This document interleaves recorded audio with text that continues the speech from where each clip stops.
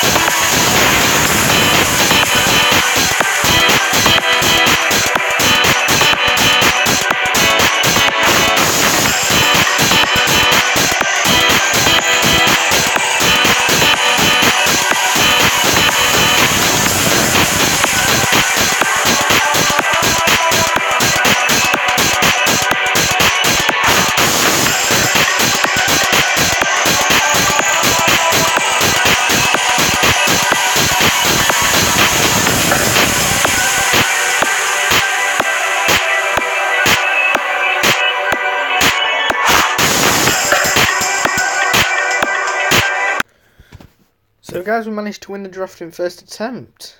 Ooh, inform, not a walkout low. Who's this? Pellegrini. Uh, not the best of episodes, guys. So about that, but we have managed to win in the first attempt at least. I'll just quick sell these. So we are currently on 112k at the minute. Got to try and get one of. We should be able to get one of these in the next episode, guys. But anyway, that is it. Thanks for watching. See you guys later.